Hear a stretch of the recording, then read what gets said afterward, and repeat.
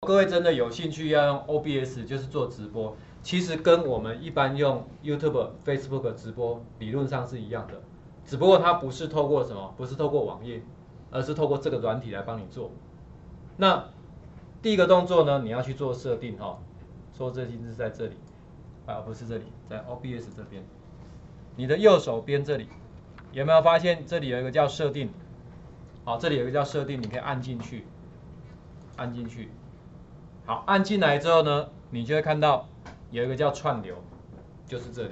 它目前支援的串流服务其实还蛮多的，所以其实各位应该知道，最近有一个最近有一个行业叫做游戏主播嘛，对不对？游戏的播报的，就是他报道的人，他就把他自己的画面加入到游戏里面游戏的画面里面去，对不对？啊，我们就可以报道一下我是怎么玩、怎么玩啊，好之类的，甚至有一些访问啊，都一样。那所以你看，YouTube 可不可以做游戏退区啦？好，然后 Daily Motion，我如果没有记错，这个是那个欧美的那个，就是播放那种追剧的啦。好，不一定一定要介绍这个嘛，不一定一定要介绍游戏，可不可以介绍哪些剧情？对不对？好，也可以。有没有 Facebook 的？所以你知道选选择看你的是哪一种，比如说假设我是 YouTube 的，好，那重点呢，所有的都一样，需要一个东西叫做金钥，金钥，也就是你拿到这个金钥之后，你把它按直播，就代表这是你，就是你的身份证啊。你看我们啊，你们应该还没有开始报税嘛，我们一般有那个。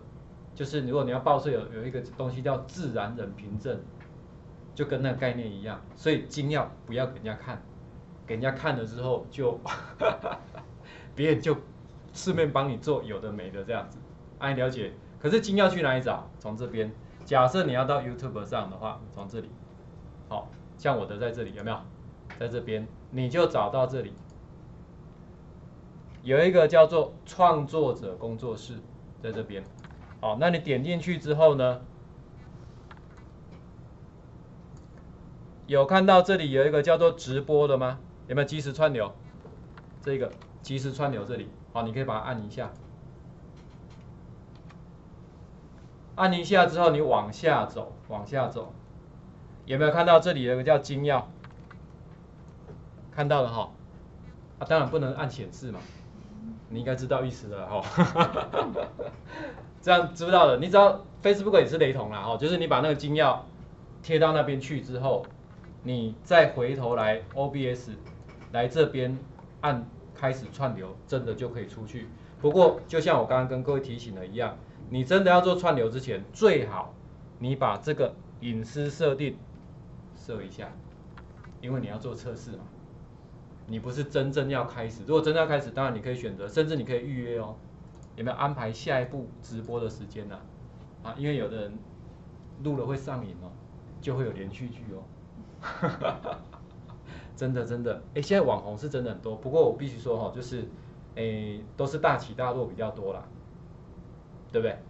因为你不要忘记了，一个人要准备所有的事情，节目企划、拍摄、录影，好不？广告宣传，你是什么都要会哦。还还有一个。刚刚都只是做节目的什么日常工作，你要讲的内容要不要准备？要啊，对不对？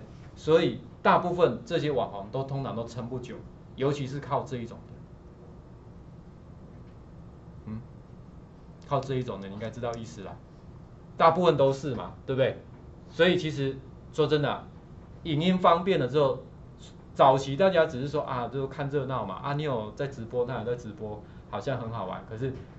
最终，最终你还是会发现，就好像你在看电视节目一样，你也会挑，有没有？不是说有节目就好，我要好的节目、优质的节目我才要看，不然干嘛浪费时间来看你在那边搔首弄姿，对不对？这种是撑不了多久的，就是就是比较表面的东西，只是看一看而已啦。好，OK。